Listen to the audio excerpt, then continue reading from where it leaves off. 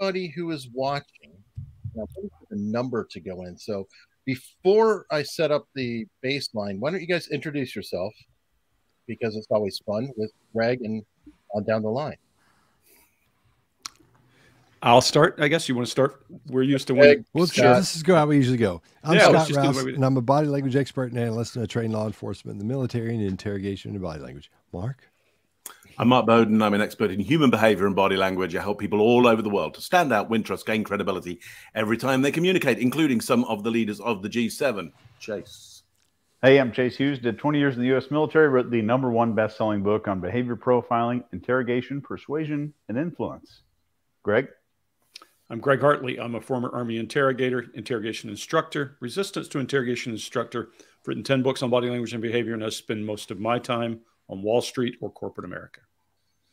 Okay, good. And now I see that people have rolled in because it takes time to get this rolling. Um, as I said before, I want to give everybody or as many people as possible an opportunity to get a question in in the chat. But obviously, the chat is going to be chatting amongst themselves. So, to help me in my quest, folks, please type in the word question. And it can be all caps, it can be smaller, just a flag so I know that, hey, this is a question for the panel. And then, if you would, please specify whom you would prefer to answer because it will take a while to get through all the questions. And I want to get as many as I can. And going one, two, three, four for every question will add a lot of time that won't be fair to people. One last thing super chats. I deeply, deeply appreciate it. But if I can't get to them. There's no guarantee that it's going to get asked if it's a super chat, and I don't want anybody upset. So if you want to do super chat, just to make sure you donate, and I'll do the best I can. I appreciate it, but please don't donate if it's going to bother you. So, on that note, Mark has a dead camera battery, and we're starting there. So Yeah, let's see if I can get another camera back in. How about that? Okay, no worries. While we're waiting on that, wh- what's the show this week, guys?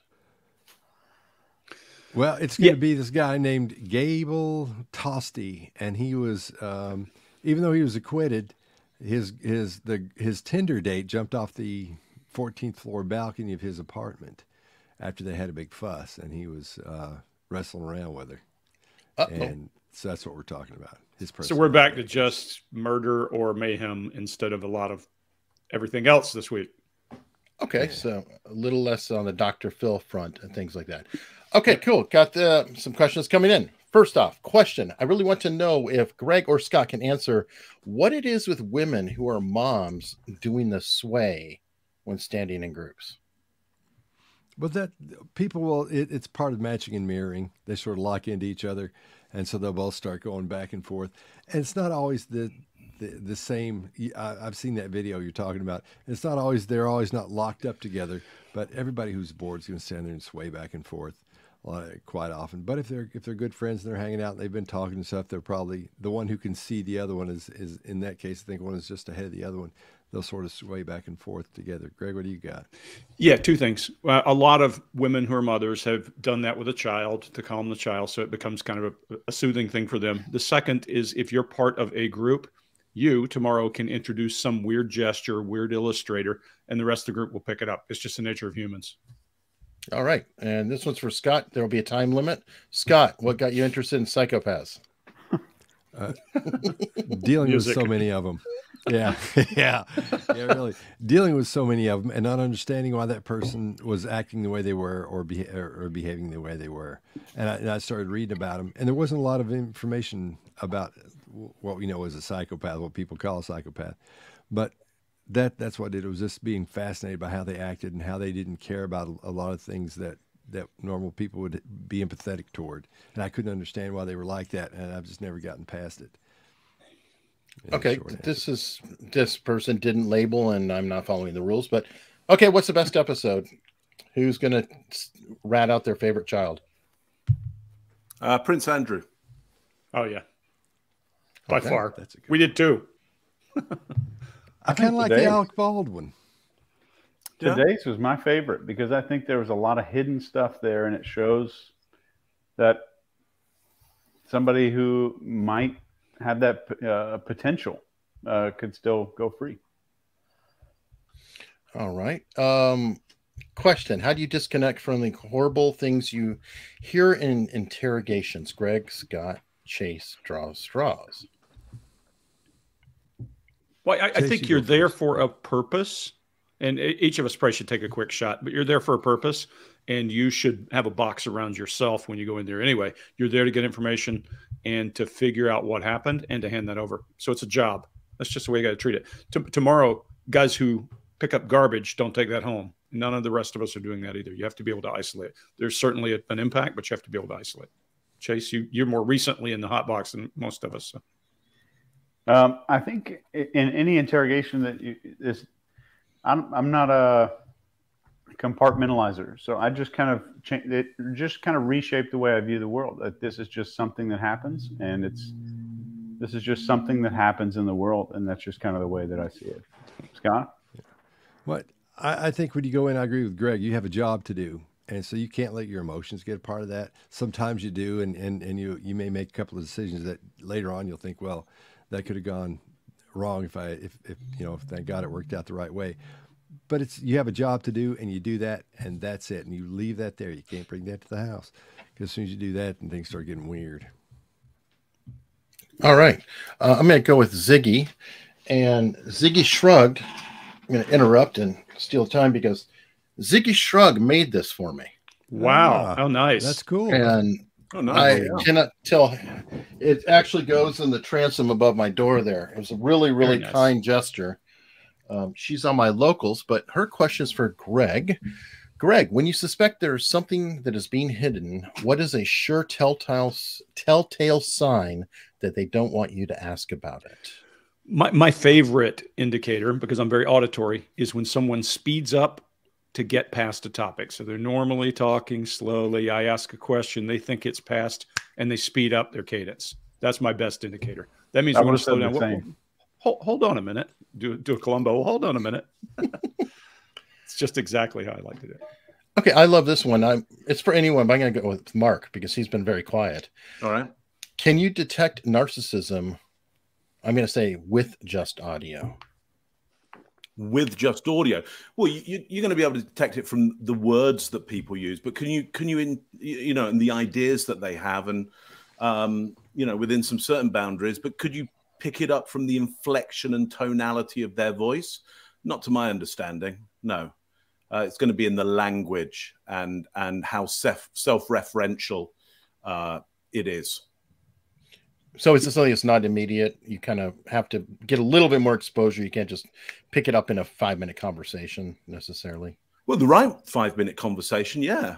No, yeah, if you you know if you if you if you can if you can get get onto a subject matter whereby it would most likely uh, trigger some uh, the narcissistic complex to express itself faster, quicker, more boldly, then absolutely but but uh, I'm, I'm, not sure whether the question there was uh, can you can you provoke somebody into a situation where they're more likely to uh, express their their their narcissism? Yes. Can you pick it up from the tune of their voice you know the vocal fry the whatever it might be? To my knowledge no. Okay. Okay. And I might be picking the order of the questions, so I don't know if we'll read anything into this or not. But um, Chase, please give us a rundown on what is motivating Binger at the Rittenhouse trial. Which one is Binger? He is the chief prosecutor. Uh, I think it's just uh, it looks to me that his behavior suggests a strong desire for personal achievement, a feeling of social significance and power. Okay. So a lawyer then. A prosecuting attorney. Does Mark look like, with that jacket on, does Mark look like a, a manager of like a metal band from the 80s? Is it just me? No, I, I, was thinking he was working on his super criminal status for the next Batman thing. I thought it was a good look. That or a magic show. You know, I still get comments about Mark's first appearance saying he owns a t shirt. Yeah. I've dressed up for you tonight, Eric. I, I, and I, I, don't need this kind of. I don't need, need this. No, I, I hold on, hold on. I dressed up. I'm wearing my Tiger King shoulder special. There you go. And, That's- uh, oh, I- yeah. I even framed the, the book. So I couldn't I believe that. just- That's I couldn't believe somebody sent me that, Famous and then you sent me that. That was so that was so weird. Of course, I went upstairs and ran upstairs and turned on Netflix and watched it. yeah, I did too. I had the, episode the two, quickest 31 minutes. turnaround ever. It's like, wait, I made the. Oh, Yeah, Oh, that worked. Yeah. Yeah. Okay, weird, so didn't it? Oh, which one of you guys would be worse faced under an interrogation? Don't understand. Greg, Worse Two Face? the worst to face. God Almighty, I wouldn't have Greg asking me questions. You I, kidding I me? think it depends on what you've done and See, he's how already yeah, started. it This is the way they just do it. Just depends. Yeah. Right. If it's a sex crime, it'd probably be me. I think it just depends on the person, and what you've done, and where, whether we would be aggressive psychologically. Yeah, it seems or like he's not. smiling real big and all that. Oh yeah, it'd be okay. I'm sure. Yeah, I'm sure it I'm would. reading Everything's gonna be okay. I'm here to help you, man. I want to help you get out of Man, this. I wish I could read. I, Greg? I care. Yeah. I do care. I really do care. Yeah, you do. All right, this is a good one. Um, I I love the Pareto principle, but is there one behavior that alone gives an 80-20 rule in IDing, li- IDing lying or deceit? I can do that. Yeah, go. Uh, is it different than the person's normal behavior? And does does it directly answer the question? That's it. Those those two things would probably be uh, the highest leverage things that I won't speak for the other dudes here, but I I would give that advice as the highest leverage. I think it's a great way to sum it up because there isn't a single behavior. It's anything that stands out. Okay. Is that like the Navarro rule that um you're looking for discomfort from a yeah, baseline? that's it. Yeah, that's You're looking Looking for for change. It doesn't comfort. have to be discomfort. Right. You're just Okay. looking for anything that could signal that there is some some difference there. So not I don't think necessarily discomfort is the um is exactly the thing to go for, though it's though it's probably more prevalent. Yeah, I, I did an interrogation. The, the guy comes in the room, calling me bro and dude the whole time. And then all of a sudden, I start asking about missing money, and he's like, "Oh, sir, no, sir, absolutely not, sir, no, sir. I'm sorry about that, no, sir." Well, So, I, I, lo- I love when you go Yeah. That's a when you go to another when you go to another country and people learned English from watching TV. Their speech patterns can Oh. be so weird. It's just Yeah. strange the way they talk to you. So sometimes you could have Sean Penn of Fast Times talking to you. Or the Brady Bunch, or yeah, Oh God. so or a crazy. combination. I would love that. Yeah, yeah. All right. Um, I don't know what this is, but have you ever interviewed anyone associated with facilitated communication? Don't know that term. I, I do think you need I to think you're talking clarify about an an facilitated communication. Greg and I probably about- have if you count interpreters. Is that what Yeah. you mean by that? Because I you have plenty of interpreters. Or do they mean like the one of the voice box things? Yeah, don't know what that Maybe means. both. Can either of you I don't know. answer on that? I don't know. Well, interpreter, there's a process. I mean, we teach, there's a process. You know me, everything's a process. If you are going to work with an interpreter, there more, there's more than one method you use. You can use simultaneous or you can use alternate. And there's a process to doing that how you ask the question, how you set up your next question, how you watch for body language, how you retrieve information while they're doing it. And even if you speak a foreign language, like my Arabic was decent once upon a time, I still want an interpreter because it gives me free time to think while that interpreter is asking the question. So yeah, it, there's certainly a process to do it, and it, it's repeatable. I mean, I can, we can put something up to show you. I'm going to throw mine in there too. It's one of my favorites. What about reading the interpreter themselves? Part of the job. Uh, we one of our jobs, especially with people who already speak Arabic or whichever other language you're in, is to vet the terp. You got to make sure the interpreter the interpreter is saying what the person is saying. You just don't tell them you know, and then when you come out, you fire them if they if they're doing something crooked. I had a situation come up where I was dealing with with uh, a couple of Chinese guys. They're businessmen. Let's just leave it at that. And so I called Greg. I was like, "Hey, man, I, I, I've never worked with an interpreter before." And and Greg told me, "Make sure you tell the interpreter to tell to tell you exactly what they say. Don't dra- don't change it. Don't make it shorter. Don't make it longer. Tell them ex- exactly what you said. Translate it, even if it sounds odd.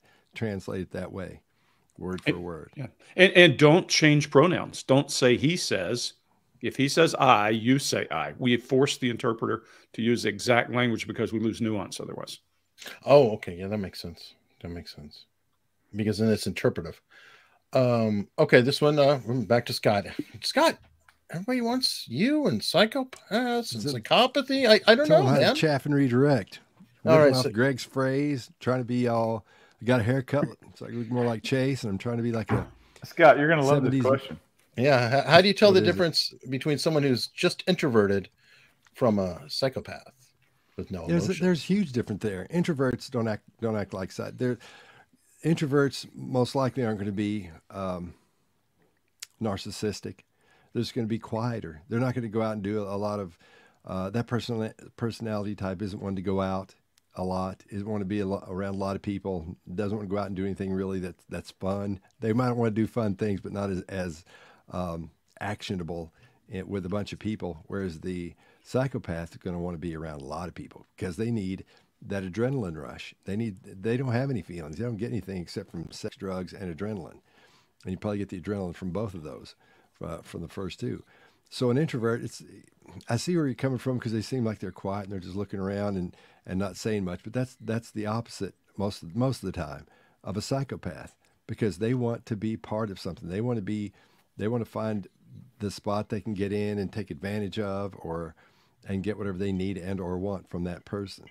So there's there's really really big difference in that. So so don't confuse that because you're dealing with narcissistic personality. All psychopaths are narcissists, but not all narcissists are psychopaths. I got to say that part of it.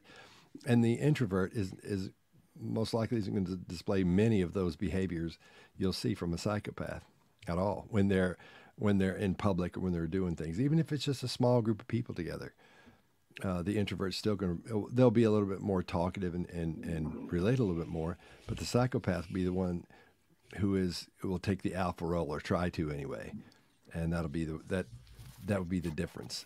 One of them's not going to do a whole lot the other one's going to do a whole lot. Okay i've got one and i want to put it out there because of the elliott smith coverage that we're doing and things like that. What about and this can be to any of you somebody who's an addict who is on drugs and has that flat affect like a heroin addict or something like that how do you cope with that type of situation when you have um you know some sort of adulterating substance with their behavior? You wait. I mean that's a super ridiculously short answer but i think that would be the the solution for everything is just waiting it out but if you if they're not arrested, you don't necessarily have that opportunity. They can go get another fix. So I, I mean, I'm just kind of yeah. I mean, you got to be you want to be really specific about the situation because um because because you know addicts and users and can do all kinds of things in all kinds of situations they, mm. they don't have just one set of behaviors. You put them in one situation, they'll behave in such and such a way. They'll be, uh, you know, they, they, put them in another situation, they'll be very, very different. If they've just taken, you know, a hit, they'll fall asleep.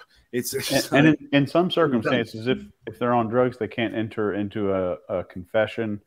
That that stuff as, as many times has been thrown out in court because they were on drugs or high on something uh, besides pot noose when they made the but if you are if you are looking for an answer from an interrogator in an interrogation where our hands are tied in certain situations. In mm-hmm. intelligence we don't have that problem. We just put them back in the box and leave them for a while.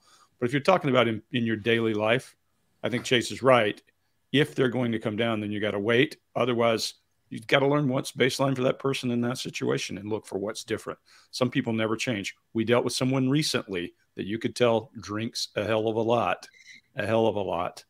And when you're talking to them, you could see that they're either hungover or the best part was all the bleaching of the eyes and that kind of stuff when you're dealing with those folks. Their eyes look unnaturally white and all that kind of stuff. And we could tell, but you can't do anything about it. We've got a window to talk to this person. Hmm. Everybody's different. I've met some super functional crack addicts who who you just wouldn't know, but they're consistent users at a certain dosage level. Totally fine running running good organizations in some cases. So it's just often difficult to to tell. I'm okay. a corporate guy. There's plenty of high functioning alcoholics there. Well, uh, and military too. Yeah. Um, okay. Uh, Gavin, everybody knows Gavin. And he wanted to say hi earlier, so he's saying hi, hi now. But hey, Gavin. Amen. Um, can you tell us the best way to deal with biases when you're close to someone? Well, I think it doesn't matter whether you are close or you're at a distance. You need to try to disprove whatever it is you think. I will tell you, in recent two of the recent things we've covered, and I won't go into detail, but in two of the recent things we covered, if I had gone with bias, I would have had a very different opinion than I walked away with. And you just got to challenge why you think that at every turn and look for reasons why what you believe is wrong. And if you do that, it's almost like you're doing a, an experiment anyway. You'll either find the evidence to support what you're doing or the other way. Sometimes it just jumps off the plate at you. I'll tell you the one with that uh, young woman in Australia, your gut automatically goes to the mother is the parents are involved. You your gut goes there, and you have to look. And seeing just that body language tell me something different was powerful.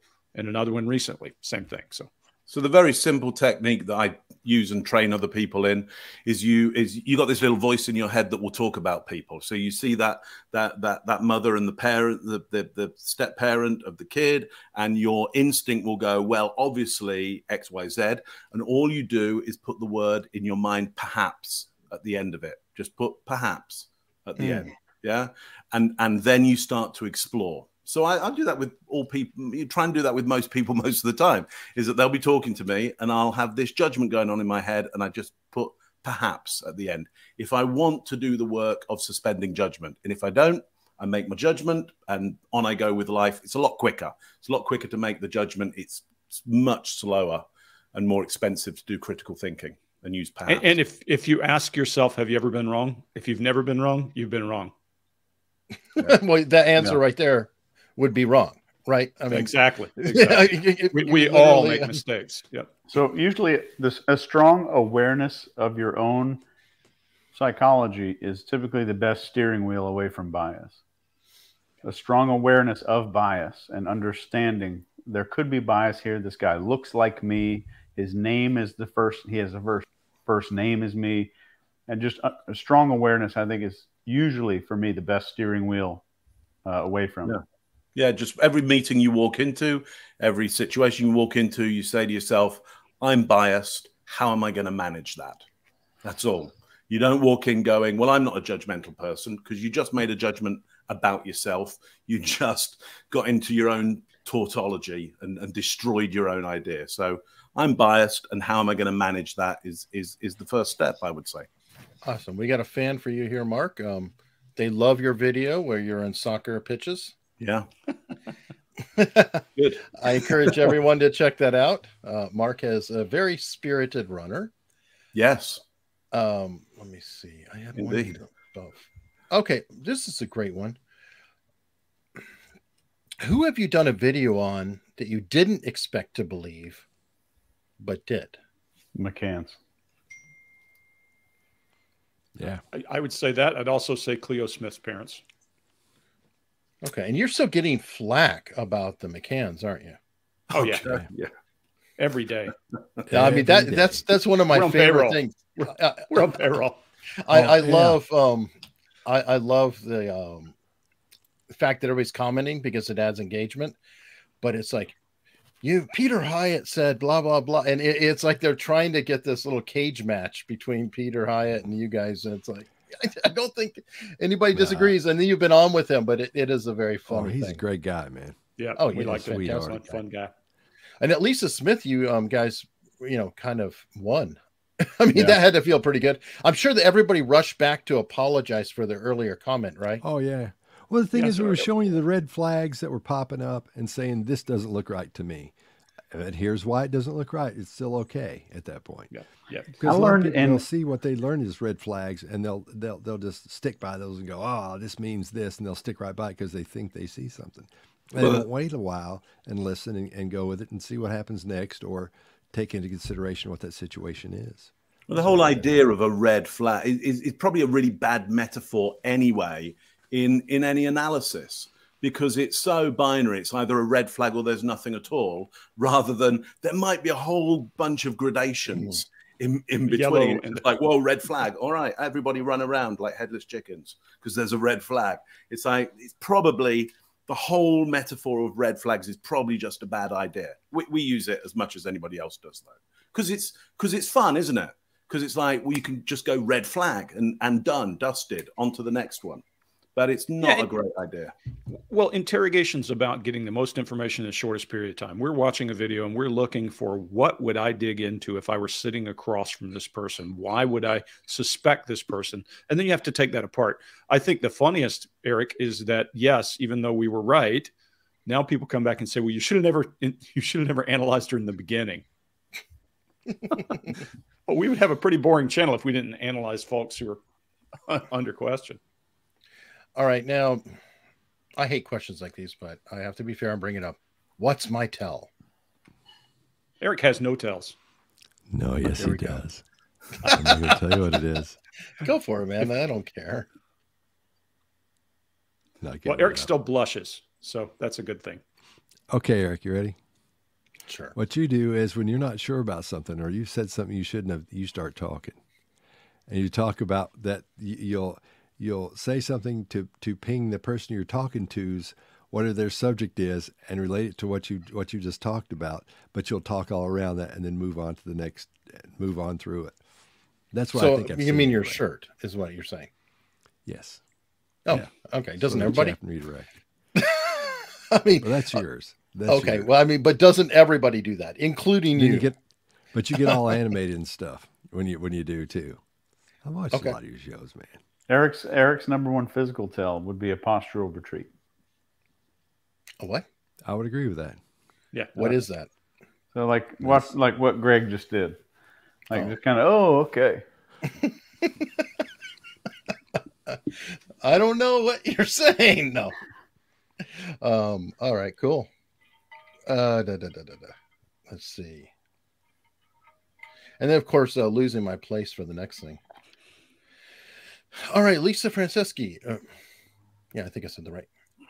Do you all always agree, or sometimes have different opinions, considering the behavioral profiles have the same meaning? Obviously, I know this answer. Sometimes we disagree. You know, Yeah. sometimes we do. Yeah, we don't. The thing is, we don't If have a we meeting. didn't- what are we? What are we going to think about this? We wouldn't Go ahead, be Jim. experts if we didn't. I would Yeah. say we would be faking it if if we That's right. didn't disagree. Yeah, we and had I some. think There were- we recently we had a couple. I mean, where something Yeah. comes up where one of us says this, another person says, I don't see that. When you hear us say, I don't see that, that is disagreement, guys. It doesn't mean that we think the other person's an idiot because they see something differently than we do. That's the piece that I, I love about this group is we respect each other's opinions and where we're coming from and how we got here. But we don't always agree on everything. Yeah, Greg had a pretty strong disagreement with me in this video we did that came out today. Hmm. I love that. I mean, if we didn't disagree with each other, we would not have science. We wouldn't have right. medicine. So that's where it comes from. I think that's why I like hanging out with lawyers because uh, is that it? Is you like to disagree? Like it's almost more entertaining when you do have some degree of friction and you can learn or be like, yeah. Wait a I minute. I think what- that sharpens. I think iron sharpens iron. So you know we're in there disagreeing, and then that leads to a debate that wouldn't would not have otherwise occurred uh, without that disagreement. Yeah, I think what we're doing is is we're not shying away from disagreement, uh, and we're not trying to create it because it might be dramatic. I mean, the thing about our, our our show is that the drama's already there. There's already usually somebody's been killed or some Hmm. some something really bad has happened. So the drama's already there. We don't really need to create another drama. What we're doing is trying to explore and think about what might be going on, and if there's some slight differences, that's okay. And if there's strong differences, that's okay as well. We're not going to uh, agree with each other just because it would be better. But I guess our disagreement isn't going to be a violent one just because it might make a great bit of YouTube for, for everybody. I think we kind of think that wouldn't be great YouTube if we were violently disagreeing. But we could, you know, we could try a show like that while we well no, we on couldn't. purposely Mark. We violently couldn't. Yes, we No, we could. couldn't. Don't That's be No, we stupid. couldn't. Come on. Don't be a Chase- fool, Scott. I Get think we with need to do one episode where we're in person and we and we all pass around a bottle of whiskey and about hour three then we film the episode and we Oh, yeah, that'd be a fun one. drunk profiling. Yeah. As soon as I'm finished throwing up. that would be called confession through projection. Um, on that note, Good and, and this is a good question because you mentioned good YouTube, good entertainment. Obviously, you may have started with just the intention of, oh, we get a chance to hang out together, and that may still be there. However, you are growing a channel, you are a brand, you are doing something. So, do you approach both subject matter? I know Greg, I think, does a lot of the picking out, but also in your explanations, are you now aware that, okay, I can't get too in the weeds here. I need to make things understandable to the layperson. Any of you, please answer. I think as we go, as as as we develop, we do because man, those first ones we were in there talking about research papers and getting all, and I was going way too deep. I'll, I'll just say it myself, I was going way too deep. Now I try to to reel it back and make it so my mom could understand it, my dad could understand what I'm talking about without getting into the minutia of it. I'm under the impression there are a lot of people out there that, that are into the minutia, but there's a lot more people that aren't. So on, on my part, I try to keep it just really basic and to, to the point each time. Yeah, I would say for my part, I don't try and steer away from anything that I wouldn't that I'm not interested in myself. It's like it's like when you uh, when you write Thanks, Robert.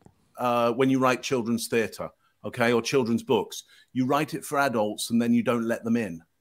You, you you go to the highest because for kids, there's only really one one thing I think that really kids cannot deal with, and that's sexual violence. And, and everything else is is is actually that there's a capacity to deal with it. And so you can create for kids all kinds of worlds that you create for adults and then you just don't invite the adults and so for me it's the same it's the same for this i'm going to make a show which i would like to attend but i don't invite people like me that sounds like the Groucho that Mark. That would be so tedious and annoying. Uh, you know, I invite people like everybody who's shown up for this, you know, because that's they're more fun. That sounds like Groucho like Marx. I'd never go to a club who would have me. Yeah, for sure. Number, yeah. Sure, I'd never go to a convention where I'm speaking at it, but I but I have to because you know they pay me. Oh, well, and, and in terms of what we select, I have a list of 50 names. A lot of them come from people on the sh- who put in comments during a show. We'll dig through those. I have a list of 50 names that we keep in reserve and some of those you'd recognize right off, some like Bernardo and folks like that. So we keep those on the back burner and we pay attention to the news because people want to know what's going on in the news. So yeah. are we paying attention to what people care about? Sure. But we also do it because we are interested in what's going on. Now, I'm not going to tell you I'm interested in a lot of pop culture stuff, but it just makes such good discussion when we bring it up and we see a person doing something really foolish that we enjoy it. So, yeah, we do pay attention. We are probably a little bit more succinct than we were in the beginning but we don't we still want to keep that level of detail on the show in a way that if we had a TV show we wouldn't be allowed to do. If that makes sense to you. I sometimes do this and I'm curious if you do too. And that's like okay, I've given you the viewers the last 5 episodes. This one's for me. This guest is for me. And I hope everybody likes this guest or whatever it is, but this one's for me. Do you guys do that with cases sometimes when you're like, yeah, this one may not go over, but you know what? I want to know, or we you want to know. Yeah, the UFO we've got a few. One. And we, yeah, we brought Jim Smith on. That was mm, for Jim. nobody else. Yep. Yeah, for sure. Okay, and now Sadie has a question. Hi, and Sadie. Hey, Sadie. I definitely, and I, I want to qualify this one too because I think it's an awesome one. I want all four of you to answer, and it can be on the show or in real life. You don't have to mm-hmm. name names, but I think everybody would probably really want to know that. What was the most difficult case slash person you have analyzed to date? Let's just one of us answer that. We've got a. That's your show, Eric. Sorry. so okay, who's got the best answer? I mean, I, I love that. Are you mind melded? Can you tell me who's got the most powerful answer out of the lot? Scott probably has the best. Go, Scott. See, he says that because he knows that none of us want to say what it is because it's going to be different than the other ones. And the other ones are going to go, Are you kidding me? That was easy because we haven't talked about that before. No.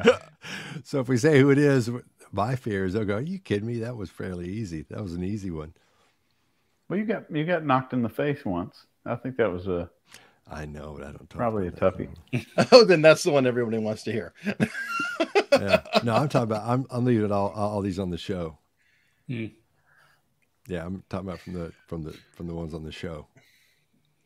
All right, let's do the ones on the show since everybody doesn't want to say what's in real life. I didn't like this last guy, Gable Tostee. He's tough. That was the yeah. That's just he's such a goof and he's such a goob, you know. And he was just he would sit there and, and I I talked about it. So he was like a TikTok chicken. When he would move, his head would stay still, but his body would move around. Just odd, dude. I, I didn't like I didn't like this one. I didn't. That's the one that for me was the toughest because having to watch him and listen to him talk without being able to reach through there and just, you know, no, he killed. And that interviewer talking to him like a like a dad. You restrained her, Gable. yeah, that's just that's just not, That's funny. That's funny. yeah. But you'll notice nobody else is, is piping up about what they the ones that they don't like. See, that's what I was talking about. Yeah, no, I, I think this one is among the hardest because he's little facial expression, and it's just yeah, yeah, yeah. yeah I mean, out of let's uh, this one was a hard one. There's there's the, the the third third or fourth video with the screaming in. That's probably the most harrowing video I would say we've we've looked at.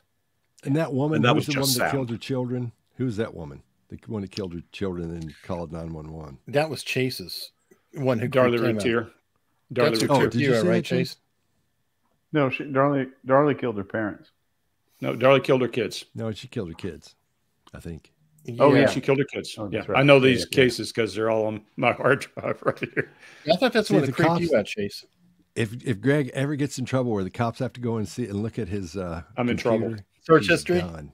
Done. Search history. Yeah. And no, he bought himself a Chromebook just for the purpose. When the cops come, they'll be throwing out the window. what the hell? Yeah, yeah, I'm in trouble for sure. If anything ever happens.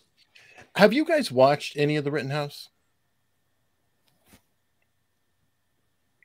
Because I, this is a question. It, it's from somebody who asked a question before. I'm not going to do a lot of repeats, but I, I think it is a good one, and it's Kyle. Did he demonstrate the grief muscle when he cried in court? I don't know if you saw that segment when he was in under direct and started to um, break down. So we are we are avoiding a lot of commentary on the Rittenhouse case intentionally. Okay. Okay. Just leave it at that. If that's okay with you. No, I'm. I, no, I'm going to hold a gun to your head and say you will tell I'm me. Still not easy to kill. Was, he was grieved yeah, no, we, we just rather leave that one alone for the moment. For the moment. All right, no, no worries. All right, so um, Gavin Stone, thank you very much for the super chat. And let's see, five English pounds there, sterling, Gavin. That, that's a pint. That's very exactly. kind of you. Well, is that why you moved to Canada, Mark? Is because your your currency well, was even more, more no. beer more, more flip sided. it's like, all right. Um, B. question to Mark or Scott. When a person of interest gives a timeline of events, is there a way to quickly assess them for time blindness due to disability during questioning? I'll go with Mark. Time blindness due to disability. Yeah, I mean, you you just you you go over that timeline and see how distorted it gets or frustrated they they get with it i would i would start looking for frustration as you go over the timeline and and and now you're going to have to suspend your judgment around frustration might be them being deceptive about that timeline so now you've got to work out well why am i even checking for the timeline so all of these things, I would suggest you got to you, you've got to work out. There's there's pluses and minuses to going down any of these these routes. That's that's what I'd say about it. Scott, what do you think? I'd have them talk about it backwards. I'd have them start the end of the. You, you start asking questions at the end of the story, but you don't say, "Now tell me the whole thing backwards." But you ask them questions that would make those sections of the story stay in the same structure as they were when you went through. Because when you tell a story, when something happens these things are are connected by the emotions, the things that that happens because there's something emotional going on most of the time if it's something important, big and important. So the, they should be able to tell the story backwards just as easily as forwards. They should know the story backwards and forwards. There shouldn't be a lot of well. Let me think. They should be able to say, "Oh, before that, he he uh, before they you know before he pulled out the gun, I, I did this. And after that happened, this happened, and when this happened, this happened." And it should just click right back that way. But you don't say tell it to me backwards. A lot of people say, tell me the story backwards. Right. But you have to do it so they don't realize that's what you're doing. So that would be my, my suggestion. But I think in this particular, if I got, if, if I have it right in this particular question, the question is about somebody who has blindness to that, who has a disability around around yeah. timelines. Oh, so they, oh. yeah. they would show so like like legitimately have a problem. They would it. genuinely go. Oh, I see what um, you're saying. Like I am with left and right. If you went, well, did you turn left and right? I'm going, I don't know. And but people and show that in their baseline people show that in their baseline. So yeah. when a person talks, they're going to talk about time, event, or sequence is what I refer to it as. An event person might say, I went to the barn yesterday. A time person may say at two o'clock, I went to the barn yesterday. At four o'clock, I came home.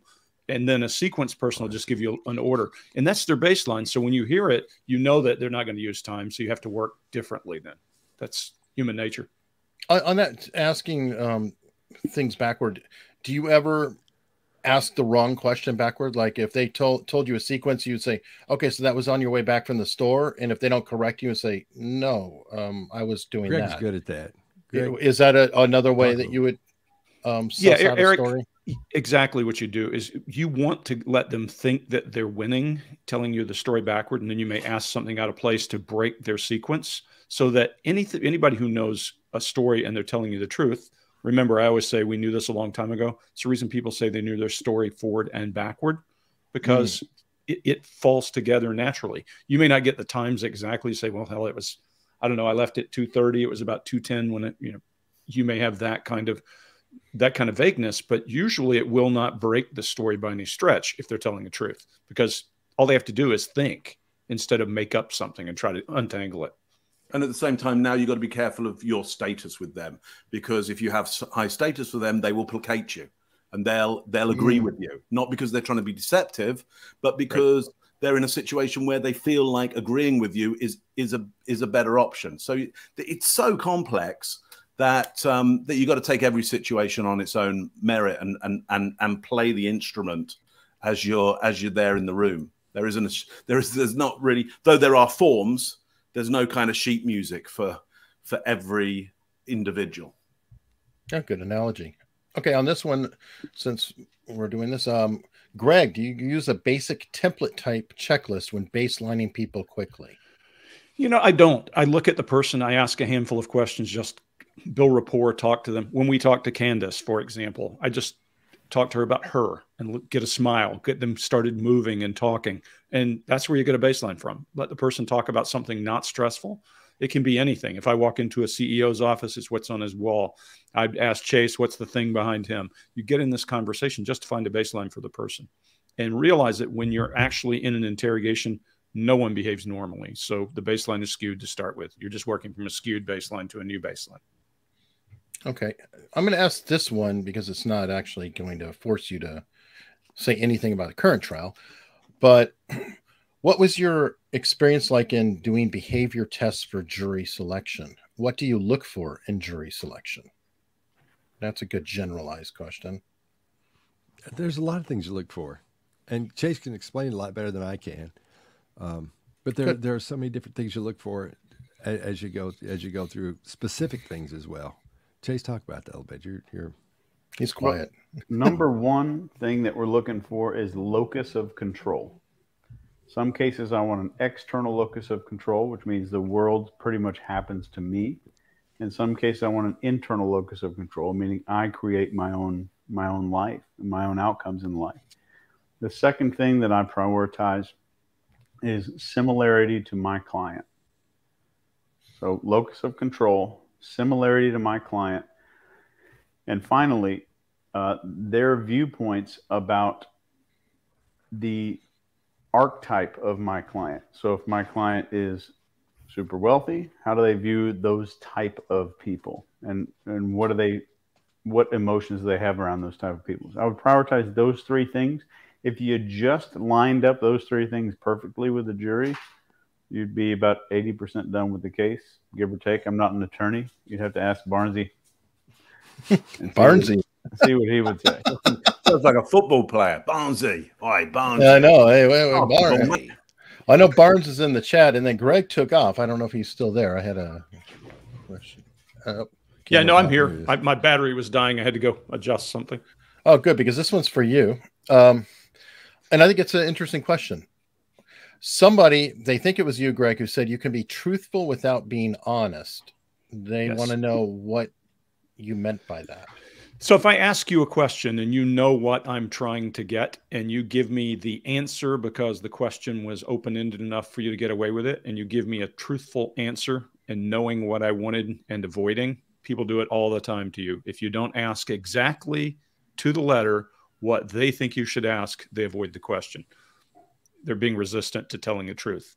Yeah. So they're being truthful with facts, but they're not honest. Yeah. Greg asked me what I did uh, yesterday afternoon. Yeah. What'd you do yesterday?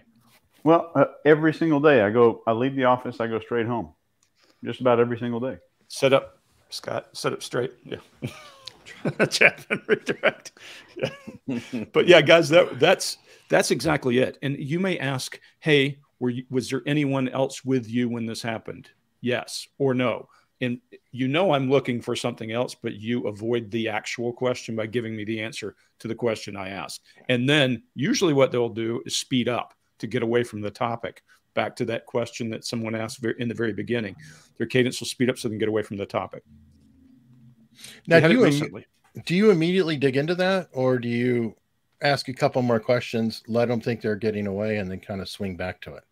Well, one more one more thing, just one more thing. What you do is you let them roll, you let them run down chaff and redirect, and then you pick where you redirect, not them, and you bring them right back to the topic at the most opportune time, and it becomes kind of a verbal slap in the face, and they realize you've been tolerating their, their BS for that long, and you come right back to it. Who's the puppy, Chase? This is Allie or Allison. Hi, It's a cute dog. That's a I think cute dog. hiccups. Uh, I have an Allison as a partner on News with Booze. We know. Okay, this is an interesting. I'm not sure where they're going with this. Um, do you need a psychopathic tendency to enlist in the military with the knowledge that you may kill other people, or is that more like a cult member psych? I don't think it's either. question. I don't Yeah, I don't either. But Well, becoming a surgeon, a nurse, a paramedic, a police officer, or just about any other job that helps people uh, entails you might actually kill people. So that would make about a third of our country a potential psychopath at that point. Well, and, I always try to remind people lots of soldiers put their life on the line for people from other countries, not not even their own, just to protect them from harm's way. I mean, Mhm. there are many soldiers who do that every day and who do humanitarian missions and all that. I think if you're if you judge it to be psychopathic to be willing to lay your life down to protect somebody, then yeah, we are. But if you're if you're thinking about what we do, deterrence is the greatest military force possible. The, the more dangerous we are as a nation, the less likely we are to go to war. That's human nature. And certainly to, to Chase's point there, I've worked with a lot of surgeons, and many of them you would would come out as being psychopathic, and those are the ones that you would want to do your operation because they will be dispassionate about you, but they will be absolutely accurate with the scalpel. And they will they love the accolade of that. They love And the narcissism for the reputation will be very important too. totally they it's for the award it's like you, you just go into their cert you just look at the certificates and the awards and the and the black tie events that they're going to show up to and it's like yeah the, they want to get it right for them not for you for them and they're really good at it and it's like but who cares that at the end of the day? give me that give me that one they have zero bedside manner Right. Well, that's why you're under.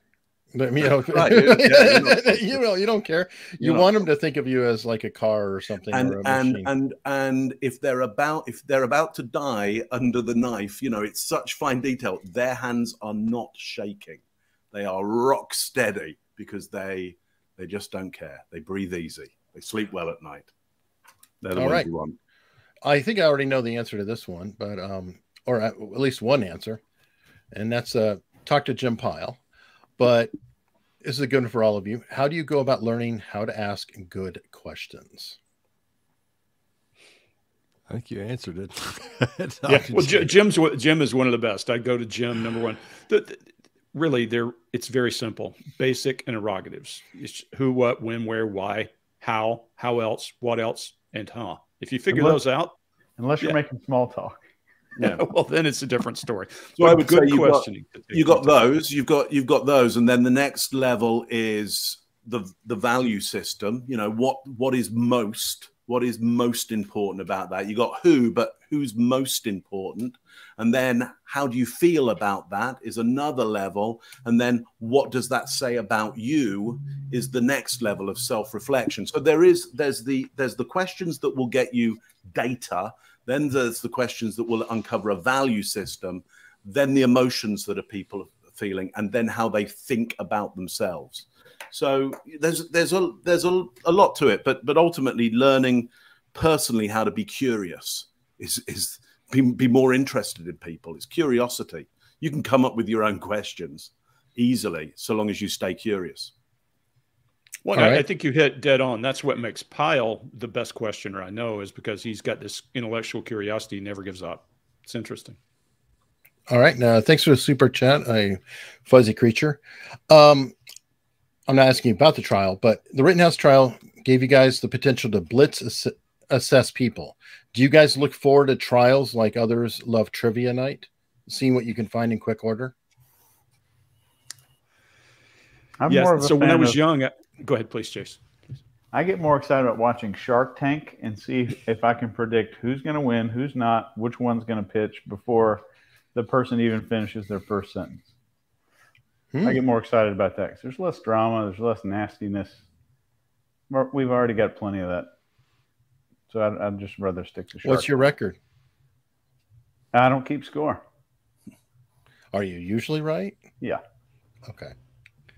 And just just based on the stuff, like people who subscribe to the behavior panel, you watch a few of those episodes and just take three or four of those little tips and tricks and you'll you'd be very surprised how much you can predict as as far as human behavior is concerned. Just getting brilliant on the basics will make you more uh, dangerous oh, yeah. than anybody else in the room. Well, isn't that the law of diminishing returns too? I, I would guess that you know if, if, you learn i don't know whatever the basics are that takes you 85 to 95 percent of their the way there and then it takes 20 years to get that last 5 percent or am i incorrect I would say you're incorrect. Okay. Well, I think you can get a hell of a lot fairly quickly as long as you are consistent and you're looking for baseline deviation. I think it takes a, a long time to get the mechanics of all the facial movement and those kinds of things and which muscle means this right. or that. I mean, Ekman's book is that thick. If you're going to use the facial action coding system, you're going to it's going to take a long time. But you should, in fairly quick order, have the ability to recognize deviation from baseline, and that's a chunk. So in that way, Eric, I think you're right. If you're talking about the subtlety of it, I think yeah. Chase is dead on. There you go. See, they disagreed. yeah, we do. we do disagree. Too. What? It got ugly too. Oh wow! I'm, I'm sitting right here. it was the worst. Well, you saw Chase started to like kind of slink down a little bit more because uh, Greg, he's pretty intimidating. Yeah, no, I'm old. All right, to Mark discuss what the common folks wouldn't think of that you train the elite on. This is open ended because he'd like you, or I'd like you to decide the direction of the answer. Thanks. Mm-hmm. okay, interesting.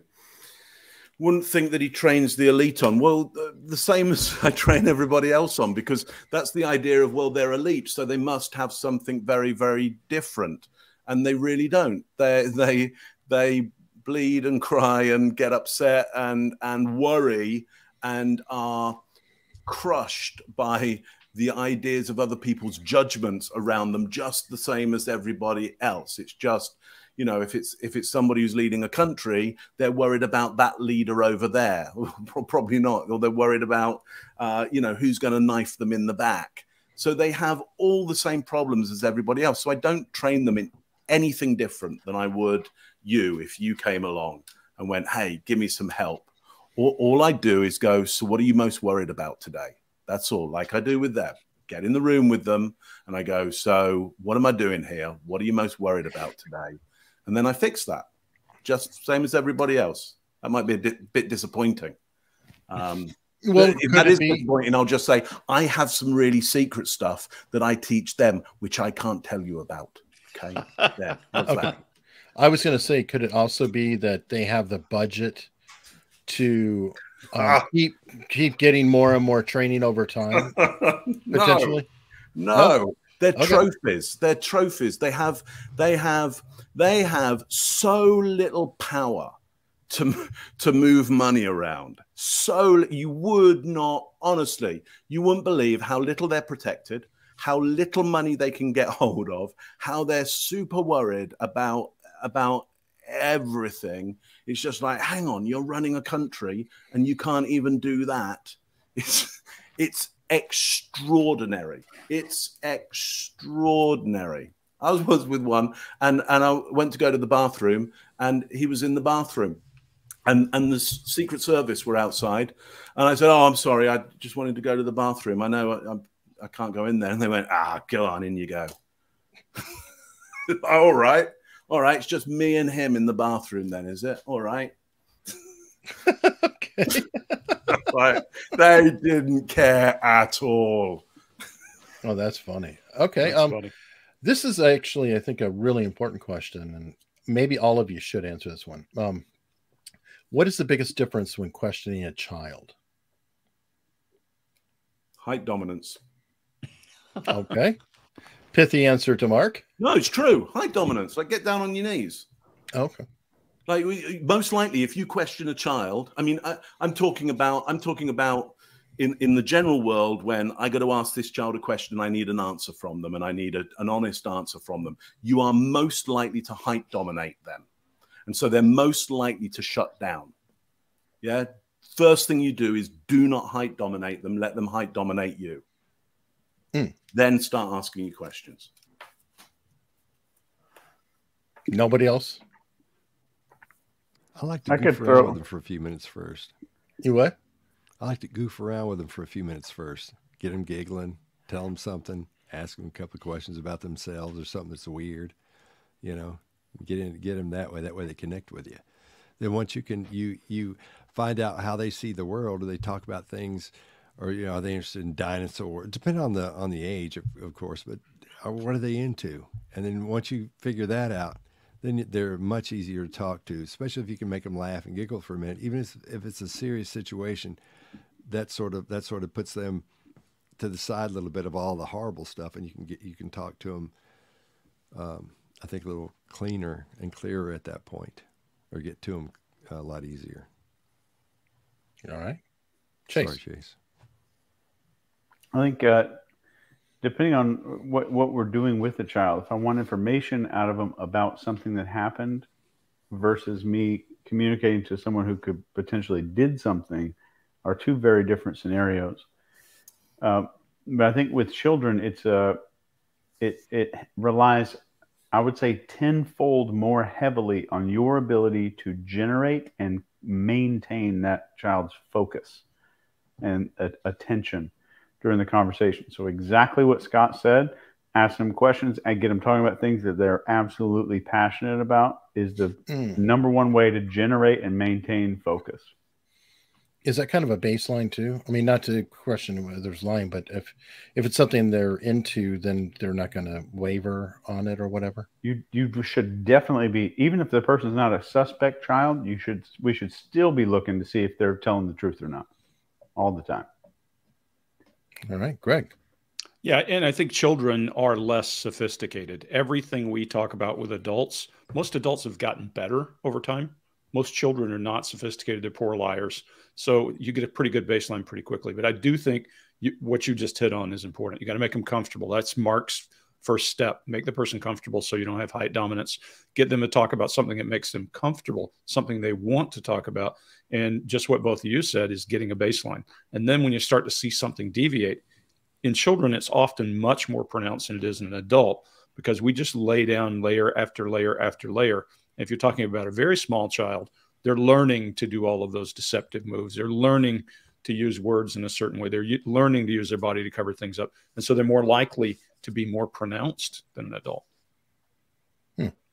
I'm curious too if, I mean, obviously it's it's good, you know, if a typical adult liar or whatever is to dig into things, but are there times that maybe as a child you can see the deviation from the baseline, but it may not be healthy to go there. Just take note of it later to go into investigation or whatever else, rather than confronting them directly. I don't I don't know if that's getting too into psychology or not, but I'm curious.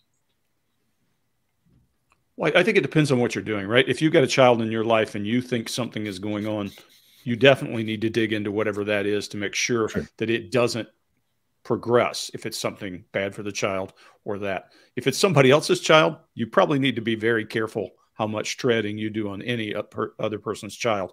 If you're an investigative or you're a psychologist, different story. But yeah, I think it depends, right? All right. All right, I got a new fan here. um, thank you, Pamela. Everybody's a critic. Everybody's a critic. Yeah, hey, just let, let let me say this out loud. If you're listening and you're not a subscriber, subscribe to Eric's channel now. Yeah, do it. yes, Hit the like especially button. now. yeah, yeah. Now you've had that uh, that Uh. And the thing about Eric, you got you got to realize, Pam, is that we know him. It's it's not like somebody we're talking to for the first time, and so we're s- sort of uh, going by the seat of our pants here as far as, Yeah. as what we're doing. boy, So it's not really a big prepared or fan. I'm telling you. Thank you, Pamela. I, I should just you know recruit you to uh, do my Coming you publicity. There. Come on, Good go again, Lord. Pamela. Hit him again. Come on. Yeah, please. Yeah, what do you Come on, got? Take him down. Take him down. Say something about his headphones. Make him. Make him. Cry. I know. Hey. All right, that's uh, that's pretty much all I got. Pamela, what do you got? Okay. Um. Oh, I, I don't even know where to go with this. Uh, I appreciate the super chat. I don't know if we want to answer or not. Now Uh, let's get that. Let me get that out of here. Uh, Yep. Dr. Jack Brown on Twitter. I I shared a tweet of his that I found completely disgusting, and Oh yeah. he he seems to be making. Uh, Stuff. I'm. I'm projecting. No, he's projecting like I am. Anyway, I, I'm I'm uh, I don't know if do you guys want to answer that or no. I, all I saw is absolutist. You know, there are two schools of thought. Be, they're baseliners and absolutists. Absolutists believe whatever. If I do this, it means that. If I do this, it means something. And we are all looking for deviations from baseline. So we're all we're all going to be different than a person who's an absolutist. I'll leave it at that and be polite. I've never seen the research on that. Yeah, yeah. I would just say Yeah. Jimmy Crackcorn. I don't care. So, so Yeah. there we go. All right. Thanks for your man. tenner, mate. Thanks for your tenner. Thank you, Julia Blair. Thank you, Yes, Julia. Their Thanks, videos Julia. are the best. Hey, we Thanks. we did you see you got two hundred bucks in there? Uh, That's while ago. 200 200. Uh, that was 200. Um, I, I think it was another currency. Danish kroner. Yeah, Oh. I think. Yeah, I think it's uh, about 10. If it's red, red is like um getting up in the higher. It was orange. All money is good. Oh, oh no, no, no, no question. I mean, and I don't know what some of the currencies are like this one. Um, any Yeah. thoughts on how siblings handle trauma, rough home differently, or children of narcissistic parents? Sounds like Scott. I don't have no, no I I know it's down in my. I thought you were say my parents are narcissistic. No, they're not. No. Um, no, that's my. uh Yeah, I know it's sort of down my lane. Uh, what was the question again? I'm sorry, I ADD'd out there on you just for a second. Any thoughts on how siblings handle trauma slash uh, rough home differently, or children of narcissistic parents? Yeah, that's not really a specific question though on on how siblings handle trauma. I mean, it's Yeah, that's a, We're organisms, guys. And we're organisms. Trauma one thing that's traumatic to one person might not be to another, or the level of trauma. E- Every one of us is wired differently, thank God. Yeah. all right. Here's an easy one. Chase, what happened to the MK Ultra documents you were planning on sharing? They are on my site, on my website. Are they? Is it in a? Super quick answer. Oh, okay. Are they organized in easy, searchable manner, or how? how are they? Absolutely not. Oh, okay. ChaseHughes.com. All right. Uh, question for anyone: Does telling the story many times make telling the lie easier? It makes it more comfortable. yeah. But It how makes is it for not you guys? much. Does it make it more difficult for you guys? You can tell when it's happened. You can you can tell when somebody's told the same thing over and over and over. A lot of the videos we're seeing, uh, if we see someone who's told the story a thousand times, then you can you can see that on. You can hear them. They just slide right through it, and there'll be little things they leave out. You know, so you have to go back through and if you can talk to them and get the and get those little things. But when, when we're watching videos uh, of people, you can just tell they've told the story a thousand times. truthful events, you go back, ask them to kind of tell you again, and they'll they'll say, "Oh, I also remember." They'll add in things. Yep. I, I think when a person has rehearsed something, they know which details matter, and to to Chase's point, they add them in as they're talking. They don't go back and add something. They go, "It was Tuesday. It was raining." It becomes a digital story. Mm. So what do you do about it? That's when you start the backward. Remember, it depends on the life. It's a live omission, you go backward pass, you'll pick it up because people can't hide information in, in that backward pass. If it's a live commission, meaning they're making something out of plain cloth, your life is a photo album. Everything in that photo album ties together. If this incident doesn't tie together, then you got to go and say, what the hell is he talking about? There's a doctor recently that I was looking at the case, um, Dr. Kaufman, who had his wife killed somewhere up around you guys, if I remember right. I think it was around Virginia Beach. Anyway, the guy told everybody he was a Green Beret and he was a this and he was a that, but he'd never gone through any training, never disappeared for two years. So how the hell is he a Green Beret? You know, so that kind of thing. That photo album approach would take that story apart. Hmm, Mark, okay. what were you laughing at down there? Oh, just, just, just. It's a great question here, which is, which is, have you ever interviewed interrogated twins or triplets? And I just mm. don't understand why not go for quadruplets? Why not? Why not like double down and go? Come on, let's let's go for quadruplets. That's a great question. So super, it's just so super yeah. niche. But anyway, and then it, it did come to mind. Uh, not that I ever talked to them, but if you, there are plenty of interviews of the Krays out there, the Kray brothers, Kray, mm. Kray twins, and they're really interesting um, to to watch. Very interesting. what, what is that? I don't know. The Krays. Oh, they're the organized yeah. figures in England. Yeah, yeah the biggest, biggest, the biggest names in London gangland ever in in history of the UK. Legendary. Mm. Legendary. To them, that would yeah, be great. Nasty, nasty, nasty bits of work. What I about mean, the brothers? The Menendez were they twins? No, Menendez uh, brothers. No, they're just brothers. No, they're not twins. They're not oh, twins. okay. Okay. Huh, interesting. Um, okay, I I don't know. Question: Would Candace talk to you off air? Yeah. Okay. Yep. Would she? Yeah. Yeah. Let's see. Hmm. Caleb Crow, have you ever seen had someone try to monkey with their own baseline or bait you into thinking they are lying when they are not? You've never been married, Caleb. yeah, people do that all the time because they come up to they come up to us and go, "Well, can you tell if I'm lying?" And it's like, yeah, and they and they try and pull one on you, and it's like, like, and you're like, oh, so you think nobody's ever tried to do this before, don't you? You think you're the first one. You you think you've got some grand scheme of how you're going to play this one out. So yeah, people people try and do that all the time. Yeah, and uh, it doesn't work very well. Yeah, the two truths and a lie game. You know. Yeah, yeah. Uh, I'm not sure about this one. Um, do any of you use symbolic logic when you're looking at someone else's argument? Mark? Mm. What do you? I, I, don't know. What, I don't know what he means by symbolic. I, I don't know either. But if, if he wants to clarify symbolic logic, then uh... yeah, the symbolic logic um, means that we're turning the other person's words into a fallacy by using kind of what Mark talks about a lot, like uh, the symbols, the uh, an archetype. So uh, I think this is what this means. Uh, we're using this archetype. We I could take a Disney princess or any kind of Disney story and ruin anyone's story by saying this is just like this. They're telling you a story, and here's what happens next. But that's uh, pretty common. But uh, there's not a lot of arguing in the interrogation room. If there is, it's probably not a good interrogator. Yeah, so for me, that if, if that's if that's the nature of the question, if that's the spirit of the question, then then that is, do you ever do you ever use and pay attention to people's symbolism?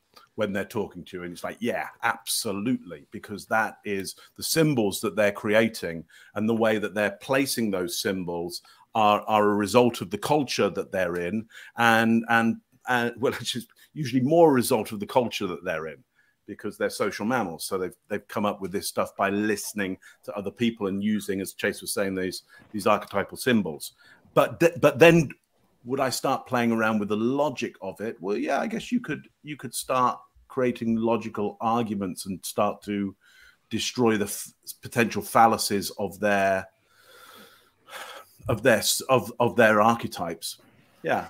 But but I'm I'm trying to make sense of the question. I'm I'm trying to help with the question here and make and make it into a question I can understand. And it may not be your sure. question, so so it's very entertaining to me. But you might be sitting there going, Mark, what on Man. earth are you talking about? That's not what You're I'm going deep in that one, Mark. You're well, this one's good for Scott um, because you've already got the shirt.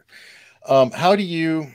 Um, let me see. Someone you know is lying. How do you keep them from getting defensive? You don't question about the lie. You want as much information as you can get so you don't go, What are you talking about? Wait a minute. Don't stop them. Let them lie. Get as much information as you can because pretty soon you're going to start asking about it and they're going to push against you, most likely. Or you could so say something like, You know what, uh, Eric, I, I've known you a very long time and we've talked to each other a thousand times. If there's one thing I can tell when you and I are talking, it's when I'm not getting the whole story. So was there something that upset you or you were you didn't want to talk about because you were afraid it was going to hurt my feelings? So I'll basically do a confrontation that way. So you still confront them if you need to. I'd say Or how is it yeah, how is it I've never heard that story? yeah. All right. Let's see. Question for all. Do you ever just interview people at length for the purpose of paralleling them to, sus- to subjects in the future? Um, do you have a library of clips of regional accents and movements? I'm going to go to Mark. Yeah. Do you ever into? Uh, yeah. So I guess the question there is: Would I, wow. would I, or we collect? I guess content that we'd be able to use when stuff comes up. Yeah, I think I, I don't know. I can't. I don't. That's um, how the um, brain works. Yeah, so I've got a head full of the stuff, and so in my mind, I go, "Oh, I saw this thing. I remember this thing," and it's in my head, and I'll I'll I'll describe it. Do I have a collection of regional accents?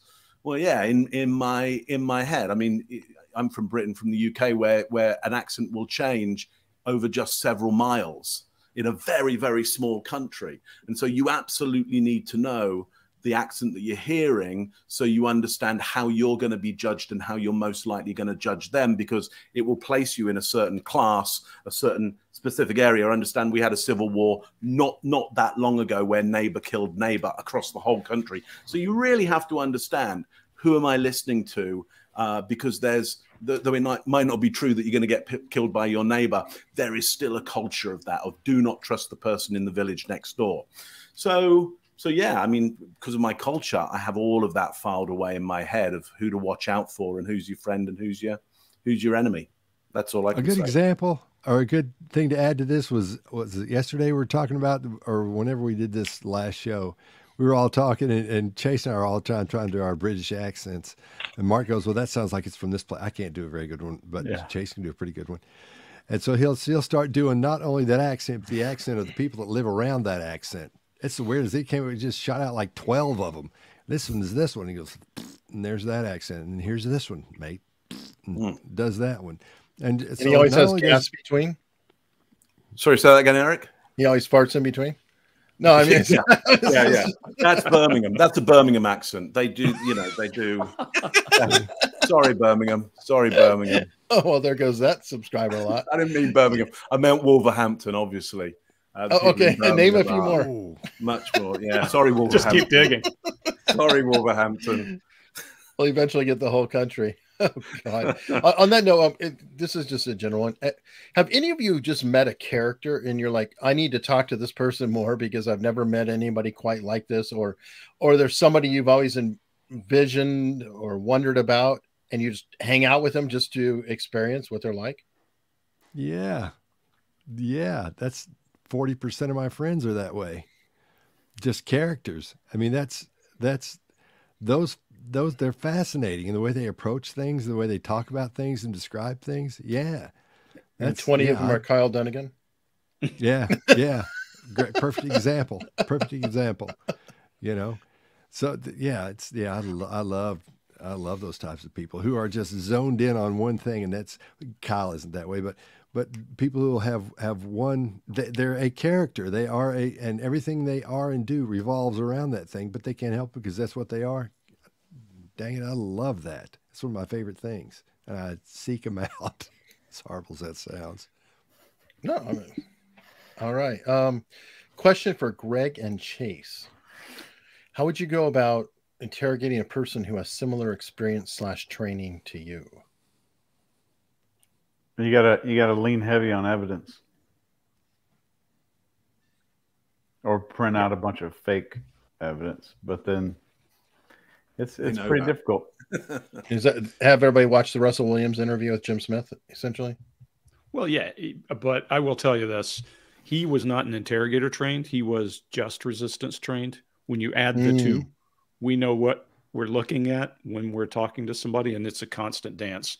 If you were, if I were interrogating someone, if Chase and I were interrogating each other, he's dead on. We'd have to use facts. We'd have to use a tremendous amount of backstory and all of that to try to figure it out. The closest I got was there was an Iraqi interrogator held by the resistance in Kuwait, and I wanted my hands on that guy so bad they wouldn't let me have him. So Yeah, heavy evidence or heavy theater. Yep. Which would be a whole nother discussion. But Yeah, and, and then that guy should be able to recognize the theater. The two of us would recognize it from a, a mile away, and you would you know what to look for. You know what the approaches are. You know what the what resistance techniques, all of that that the person's going to try to use. So I think you're dead on, Chase. It would take a lot of mechanics to make it work. that'd be fun to watch. Would be a dance. All right, Brilliant on the Basics was a Navy MCON MCPON program that failed miserably in the uh-huh. goat locker. Okay. This sounds Thank dirty. Sounds like it's for fact. Chase. I think Chase knows what it is. I, I don't know. yeah. yeah, it's I, I think the phrase is fantastic. I have no idea how it affected the Navy, and I don't give a crap. But I think the fa- the phrase is fantastic. That just mastering these things that are the foundational, the base of the pyramid. We need to master that first, and then start moving up. Okay, hold on. Let me see if this is. Um, that's not really a question; it's a statement. Thank you for the super chat, though. Um,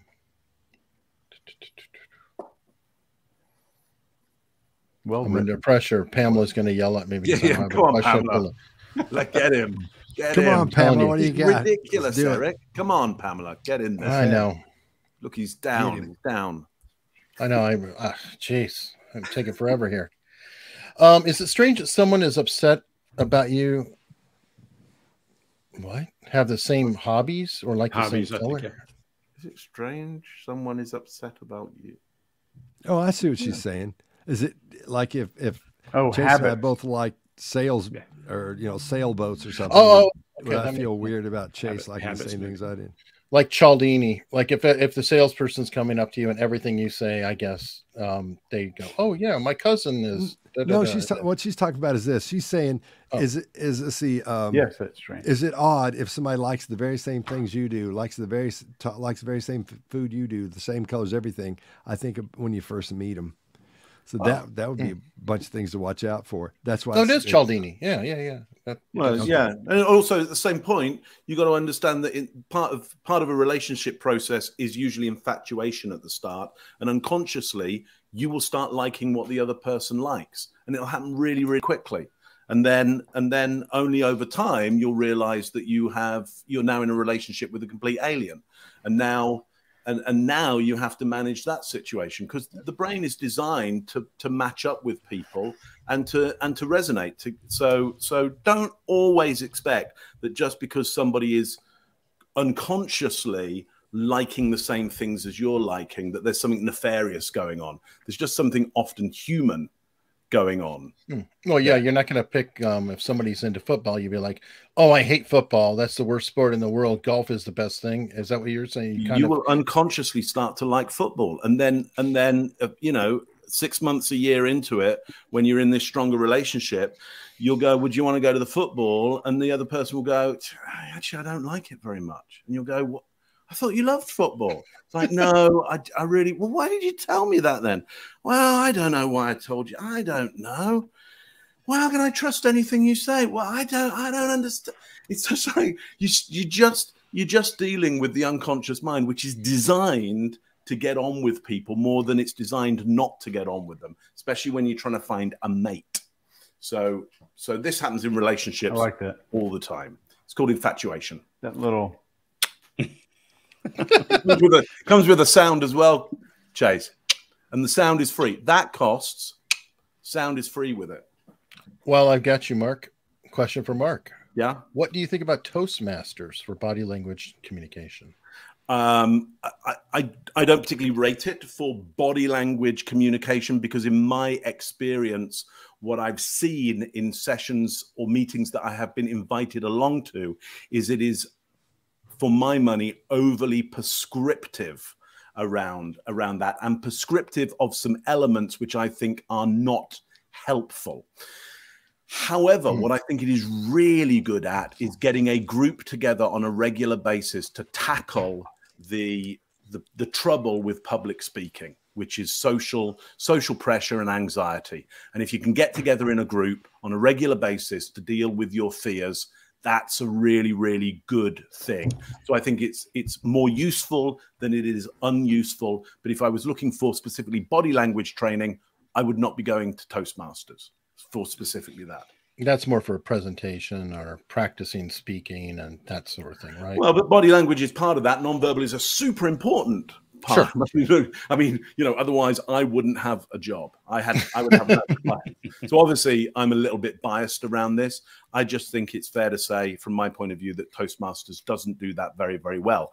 But I, I personally don't get together groups of people on a regular basis to tackle this, and they do and that's actually super useful uh, really useful. I don't do that because I'm not the kind of person that can organize that kind of thing or likes to be around a lot of people on a regular basis, to be honest. But is there a worry? And I guess where I go with it is, you know, sometimes you can learn bad habits from something. Is that is Toastmaster something that you'll have to wind up getting people to unlearn or have to train them out of, or is it relatively harmless? You're saying it's not the be all end all, but it's a good start for. No, I've, I've gone along to. I've been invited along to Toastmasters things, and I've gone along because I want to see what these things are like. And I've and I've stood up and I've said, "Hey, let me show you some stuff about body language," and they've gone. Oh wow, that is like the total opposite of what we're being told to do. And I go, mm. yeah, you're right. Who do you prefer? Me doing what you've been told to do or me doing what I'm saying you should do. And they go, well, it's much better when we do what you're doing. And I go, okay, we'll do that then. And that's all the training they need. Like you can see which is better, do what is better. You don't need to unlearn anything, just do okay. the better thing. I'm not saying what you're doing is bad. I'm just saying what I'm telling you to do, it's better. And you know that. So do that. There's no unlearning required.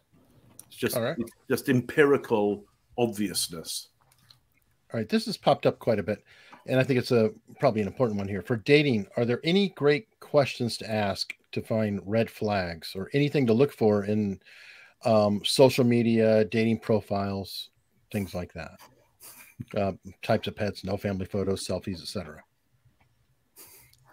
If somebody has a horse, run. It's going to take yeah, all your yeah. money. Pictures, pictures with people, hands on a horse is always. It take all your money. The, the biggest thing I've. Go ahead. No, go ahead, Greg. I just stepped on you. Yeah, no, the biggest thing I think you find with people, the thing I'm always cautious of with red flags, and I don't mean just romantic relationships, is anyone who falls in love like that with you, be careful, be very careful. And I don't mean just in a romantic relationship. I know people who in platonic relationships are in love that quickly and they just overwhelm the person because they need so much from that person. They're probably good folks who do that, but most of those relationships implode under the pressure fairly quickly. So, and then I would say rushing? most of their friends don't live in that city, or most of their friends are in another state, so they don't have any nearby close friends. They don't reflect empathy on their face. If you're excited, their eyebrows don't move. If you're talking about your sick aunt, they don't show any sadness on their face. And most of all, watch very closely if the only time they get hyper focused or very interested in the conversation is when you're discussing something vulnerable about yourself that's probably going to be weaponized later. I'd say watch out for people who, who give you who have too many selfies of themselves because there have been a couple of studies on on narcissists and uh, people who do a lot of selfies. So I'd, I'd pay attention to that. Make sure they don't have a whole ton of those. I have one. I don't know if it's good, but um, I always say watch how they treat the staff, like waiters and other yeah, people sure. when you're out. Sure. Yep. Um, Congrats to the behavior panel. You passed 30 million views total Amazing. You're right. Wow. Happened today. We, I didn't Well even know that. Yeah. I didn't uh, I either. didn't either. Yeah. Thank you. Yeah, I, listen, Thanks, I, I wrote it down on a note to say, look, we got to we got to let people know that we did 30 million views, and and, Thanks, and. Dan, thanks Dan, going, hey, Thank you, Dan. 30 million. Yeah. Thanks, Dan. Thank, Yeah, hey thanks, guys, Dan. thank you, thank you. This has been a fun ride, and thank you, Eric, for getting us all together. Oh, Yeah. I'm honored to know you. Um, huh, this is a good one for Chase. Ever use background music or sound in, inter- in interrogatories? Yes, I typically will go to a. This will get. I'll see if I can wrap this into 60 seconds. There's something called binaural beats. oh yeah, I have. To use this, you need headphones on, so Mhm. which you probably won't have in an interrogation room. And it's more binaural beats are not very effective for interrogation. You're more likely to be beneficial from a neuroscience perspective using something called isochronic tones, which turns on and off at a certain frequency. But the frequency that's that's playing, turning on and off, is called the carrier frequency. And you want to talk into an app, figure out the frequency of your voice, and make that the carrier of that isochronic tone. All It's right. Chase That's all- Hughes, ladies that's all and the gentlemen. Chase Hughes. No, yeah, yeah. Now I'm sitting here going, okay, so um, everybody take notes, rewind it four times, go start looking up the definitions of every word, and we'll go on to the next one, which is an important one, actually. Chase, remind me to tell this you a has story. started your show. Will you be doing the Tiger King 2? Tiger King 1 is how you started. I think we should have so. Carole Baskin on as a guest panelist. Carole, That if you're be- watching, give us a join ring. us. I, I can reach out to her. Yeah, Yeah, you get her can. on. You can. You How do we can. get hold of Chase? I have my shoulder to prove it. Well, who All would right. we who would we analyze if we brought her on? Maybe we could Joe Exotic. Who cares? We could analyze him with her on. That would be fun. Oh, that'd be wild. Well, thank you, Sadie R. This is not Hi. Sadie. Thanks, Sadie. All Yeah, right, so great show as always. Thank you. Trying to make sure there's no somewhere for chats. I'm looking to see if there's one question. Come on, Pam. Pam. Oh, here's the uh the twins or triplets and I love that one. the Kray I love that footage for sure. That's a I- great- that's Yeah, we should look at that. I, and I wonder if there are any who were ever arrested. That would be an interest. And that would be a question too. Would you interview them together or separately or do both? Because w- twins react off each other in different ways than we're used to, right? And I don't mm-hmm. know. I, I, I okay. I, I want to delve into that a little bit and just question with you because if you're dealing with twins, would you want to have more than one interrogator also so you could both be observing one or the other to maybe because it's hard to track everything that's going on at the same time, correct? Well, two things. Number one, most interrogations are best separated. When you bring them back together, it's for a purpose, a very specific purpose. And you typically don't interrogate people together just because. Um, there are times that you might bring some of them together and force them to conflict and go at each other's stories. Especially, though, especially somebody who knows someone as well as a twin would know the other person. Because now the subtlety of their relationship and the microculture they can talk. We talk to each other with our hands across the screen. They can talk in ways you can't see, and they can share details that way. So you'd be very cautious bringing people together in that mm-hmm. interview. That's It would just be a a- nightmare for prisoner's dilemma too. Thinking Except- about this, if you were to go down the line of, of which some twins feel, which is they are one entity, they are one person in two, you could go down the line that says you're never really interviewing any one of them unless you interview both. Mm. But that would be just a way of thinking about it, which could be true or false. But certainly to critically think this, there is an argument that says if you only interview one of them, you've interviewed none of them. Okay, so maybe interview them separately and then bring them in together and interview them together to see how they Yeah. react. Yeah, and then and then like add something else for fun, like you know, like a monkey. quadruplets. Just like, because- balloon animals. Yeah, okay, well, but but yeah. if it's quadruplets, then you give up because you run out. no, Of, I think I'm just I think I think all bets are off now. Now it's now it's the three a.m. milk run. If it's if it's if it's quadruplets, it's like I'm getting in the car. Let's go get milk. All right, the Carole, super Mark did is not saying- mean to say that. We're happy to have you Yeah, on. Carole, I will not. Yeah. It is, honestly, if you come on, I will not mention the 3 a.m. milk run. I'll bring my own He'll milk. be on his best behavior. yeah, yeah, yeah. Mark, will you give her two hundred dollars worth of milk if she comes on? I totally will. Oh, I totally will. I totally will. There I'll is. deliver it myself. You've been challenged. All right, All Carole, right, let's do um, this. You've been challenged. Investigation Discovery Channel apparently has a long series on evil twins, so you Wow. can maybe get There you material there. There you go. Greg, take note. I did already. Uh, all right. Um, thank you guys. Answered exactly wh- what I was curious about. To hell with absolutists. That's I good. agree with Jimmy Crackencorn. Yeah. And let's see. Let's see if we can get one more question. I got to do this one. Right. We'll close on this. Question to whomever. What's up with the way Robert Barnes sits in his oversized leather chair, arms outstretched, never moves them, always stationary? He thinks he's That Captain lets you- Kirk. That's the thing. He thinks that he's lets- Captain Kirk and and the guy from from uh, the the the uh, Now that lets you know you never want him to be against you. You want to friend up with that guy. Trust me. You want to be friends with Barnes. Whatever it takes. Send him cigars, whatever it is. That that says you don't ever want to be on the other side of the table from that guy. And Yeah, we've had dinner with Barnes three or four times. We've we've eaten with Barnes a lot. He's like that in real life. He'll sit across the table the exact same way. Yeah, man. And, So, like, and me and Chase are like this. no act. No. And Chase and I are like this. Yeah. I've, I've never met Barnes. Hi there, Barnes. Uh, but but in my view, it is it is Captain Kirk and Hannibal from the A Team. That's what he's doing. He's doing both of those together. It's fantastic. It's a great rouse. You're, you're going to love him. You're going to love him. He may not Unless see me a- now. He may not want to meet me now. I've said that. No more No, sidebar for. Mark Bowden. No, exactly. Exactly. Greg, Exactly. you, you have an answer? yeah, no, yeah, I think it's just everybody has an image. Everybody gets to where they get and comfortable in who they are, and that's his. It's confidence. Yeah. Yeah, I'll go with the joy catcher on that. Well, maybe he just had himself and makes chair. no Maybe he apologies. just had that chair. Yeah. He's, he's comfortable in who he is. He's Yeah. got a chair. You just know you just nailed it. Uh, the joy catcher. He, he knows who he is. That's for dang sure. And makes no apologies. And on that note, Mm. We don't know who you are, but we know who your channel is. And thank you all so very, very much. And if you ha- if you haven't subscribed to these guys, you're completely crazy, all 999 of you. and got one more super chat. Thank you. Somebody's Hey, up at 3 a.m. Okay. We know check Kay. this well out. played. Thanks, I man. wait. Hi, Kay. Thank you. Thanks, And- Kay. All of you. Thank you.